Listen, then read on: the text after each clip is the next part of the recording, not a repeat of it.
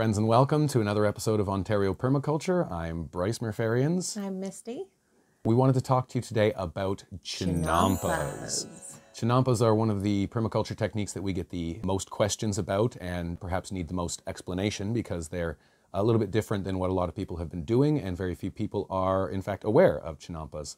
Chinampas have a long history, and I'd like to pass over to Misty, who heard about chinampas first, to uh, discuss a bit about that.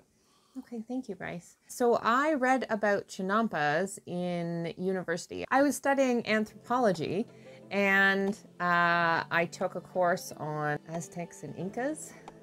And on during the Aztec portion of the course, uh, we read about the chinampas of Mexico. Basically, uh, there were several tribes of people who were vying for power in what we now know to be central Mexico. And there was a group that basically got pushed out of the agriculturally beneficial parts of Mexico, and so were kind of relegated to the swamps. And instead of folding as a culture, they developed a, a type of agriculture that worked in their climate.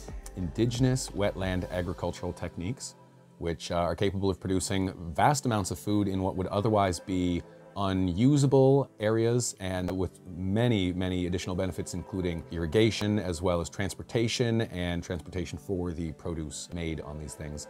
There is a region in Mexico City today, I believe it's Xochimilco, but I will look that up and I'll point it out here, so spell that for you. Uh, but there's a region in Mexico City, modern Mexico City, that is still Chinampas, and uh, while it is rapidly being modernized and uh, upgraded, there is a significant movement for maintaining and preserving the chinampas down there in Mexico City, mostly due to the fact that they are abundant production systems capable of turning standard wetlands into productive and capable zones. Well, having read about it in university, I kind of tucked it away in my brain. But then later, when we uh, bought this property, we found that there was very little upland planting areas where you would have a conventional garden. And because we have grazing animals, we want to prioritize that space for grass and grazing. So we have put a lot of work into our wetland areas so that we can produce vegetables for ourselves there. There's a few benefits that we see um, in what way? First of all, being in the wetland, uh, the large creatures don't want to get into it. So whereas you put a normal garden with corn or things like that in it and the critters see it and they're really keen to get over the fence and push it in and whatnot, uh, in the wetland, they basically leave it alone. They don't see it as a place wet. that they should be going, so it's useful in that way. We also found that we finally could have some ripe corn because the raccoons are not looking for corn in the wetlands, it seems. Hooray! Hooray. Uh, it is also incredibly productive of squash. We found that the Three Sisters uh, corn, beans, beans, and squash amazingly grow in North American conditions with traditional North American plants. So there's only so many squash that you really need, but comes out with such adorable varieties. And these were all squash that we planted down from true varieties, but by being grown in the open with open pollination, you get mixes and matches. And over the years, results. you get a bunch of interesting results. We found that we, if you grow plants like uh, tomatoes or squash in the sort of feral situation, you tend to bring out the genes that are a little bit more like the wild type. So for example, the grape tomatoes grew great on the chinampas. They're very, very similar to a bittersweet nightshade, which grows naturally all over the chinampas. And then you get white squash a lot more often because white is closer to the wild type. And we think that it looks a little bit like Jack Skellington's head. Jack, the pumpkin king. So what are chinampas? Well, chinampas in short are raised irrigated garden beds in wetland zones. They nature are irrigated by nature. So mm -hmm. they would take an area which is damp some or most of the year and we build it up our first layer is a woody layer, so we use uh, waste twigs that mm -hmm. are not suitable for firewood, but are coming off of the lumber that we're harvesting and or are clean, cleaned up out of the forest from being fallen or being pruned off for paths. We lay that down, usually in places that are grassy. We're not putting things in flowing water, though the Mexican chinampas are in a lake bed. They have created actual rivers that they can um, pull along in in boats. Ours are uh, more the places that get flooded in the very wet seasons of the spring and the fall, uh, but would otherwise look like kind of a field of grass in the summer.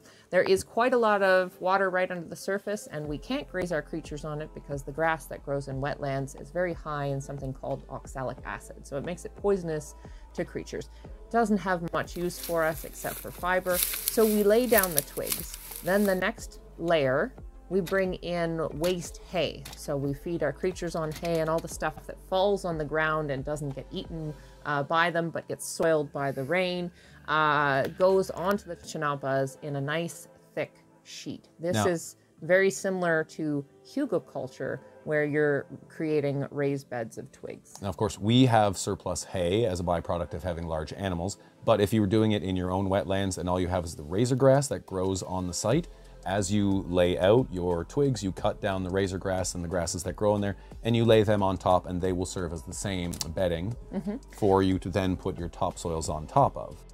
Of course, in all natural situations, nature provides, so all you need to do is lay down the willows that are growing in the wetlands, pin them down with some of the muck, and that'll form a nice edge along which you can focus everything else.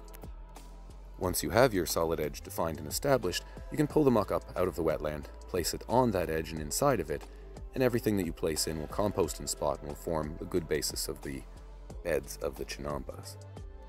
Wetland muck is very fertile and self-regenerating in a very short period of time, and if you continue to dig underneath this muck, you'll find clay-rich soil. And you can watch some of our other videos to see some of the many uses for clay-rich soil.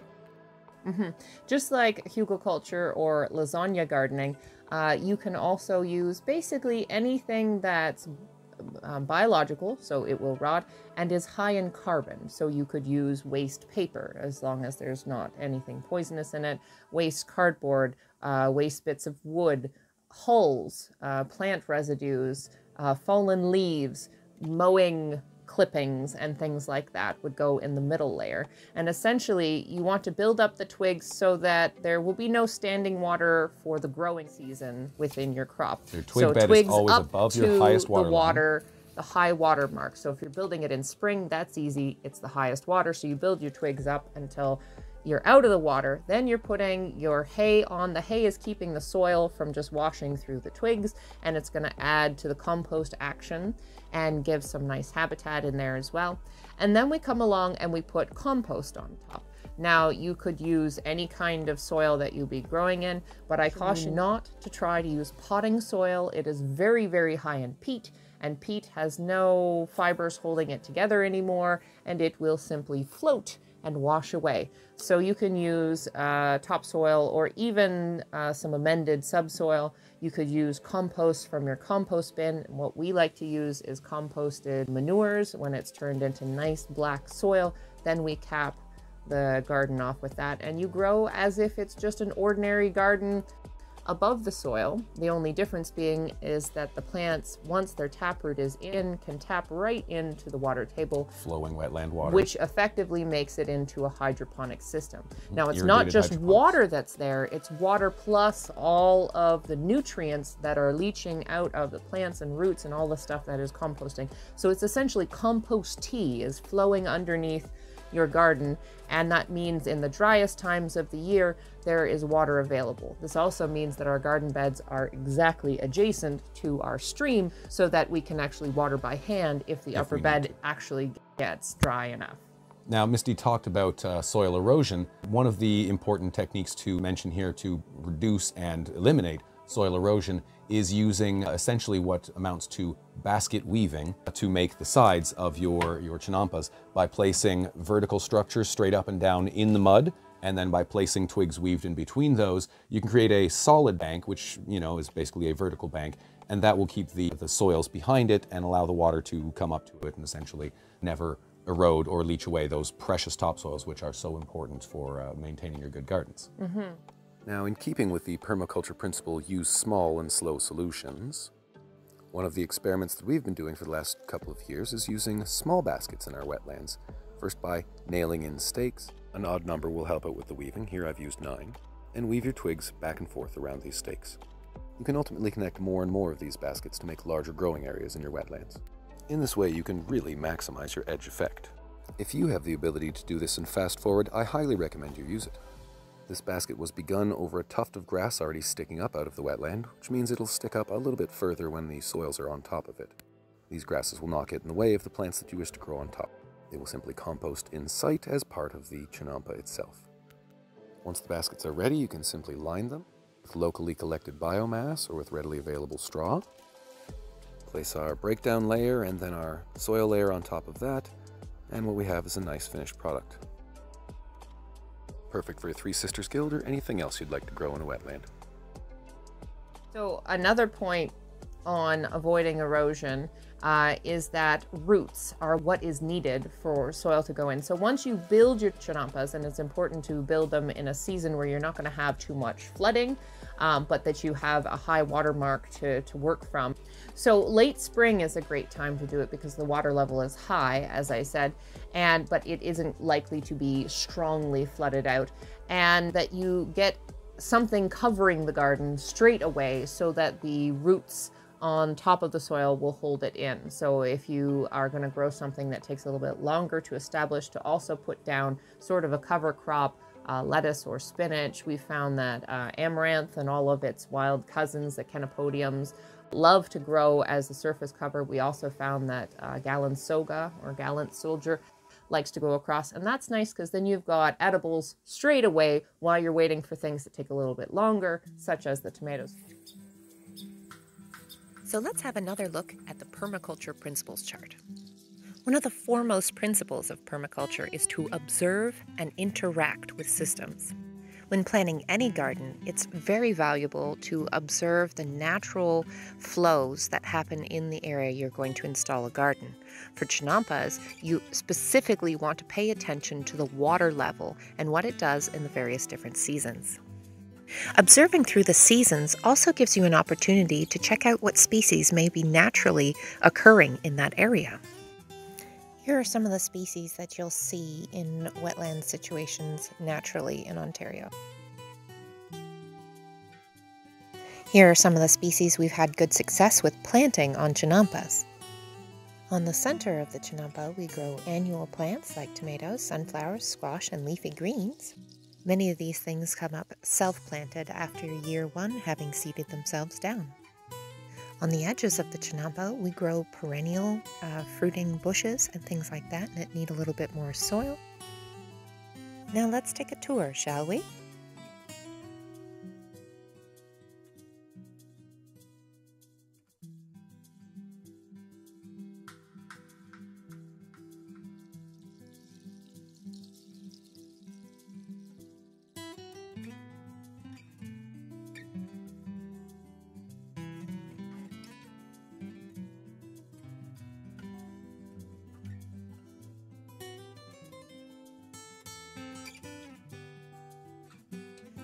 Brings us back to the chart. Permaculture principle obtain a yield. As Bryce said, chinampas are gloriously productive. In spring, we're harvesting greens. Then comes a succession of fruits throughout the summer, some of which we're enjoying fresh in salad and sautés. The surplus we dry and preserve. Some species, like the Chenopodium, are eaten from first thing in the spring all the way through to the seeds at the end of the year the end of the growing season for us about September. We get to bring in all of our overwinter storage items like squash and corn. With a good mix of annuals and perennials and a good succession, you can be eaten from the chinampas all year long. Now let's go a little deeper into why chinampas, and we'll do that through design from patterns to details. Given that we can go from baskets in the wetland to systems that can spread all the way across an entire lake, which are capable of feeding a civilization of 200 to 400,000 people. And all within a fertile transportation network which still stands to this day, feeding what is still one of the largest cities on Earth. I think that if we as a culture and society can learn to use edges and value the marginal, and apply that to systems that actually benefit people in society, imagine the possibilities. Talking about systems, it's important to point out that the Chinampas of Mexico not just agricultural fields, they were neighborhoods, there were dwellings. Even today, the Chinampas support transportation networks and floating markets. It makes me think that some of the things we see in cities that don't help support thriving might look different if we were to value the marginal. If we see problems as opportunities to rise to new ideas, smart people come along and they connect the dots, filling needs with surpluses, turning waste into value. Around the world, there are thousands of examples of natural dwellings like ours, made from the natural surroundings, from the thatch, the wood, and the earth on site, whether it's danced as cob in the traditional Devon sense or made into bricks as they did in Giethoorn, Netherlands, the Venice of the Netherlands, where they have a canal system instead of roads.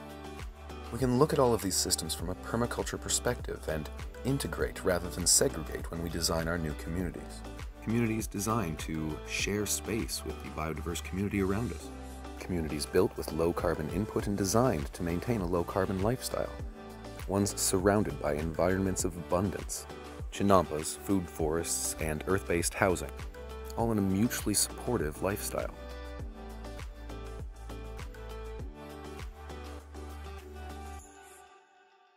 So I hope you can see why we're so excited about the possibilities and potentials of Chinampas. I want to give a big thank you to our supporters, our GoFundMe and our Patreon supporters. Thank you very much been a big help and a blessing throughout this.